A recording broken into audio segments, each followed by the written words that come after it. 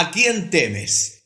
Comúnmente el hombre eh, teme a alguien, tal vez a la oscuridad, tiene fobia a la altura, a la soledad, a los animales, a los insectos. Y en fin y al cabo, cada quien tiene su temorcito de algo. Y hay quienes, por supuesto, también temen al hombre, al hombre malo. Hay, hay personas que se han caracterizado por ser malos.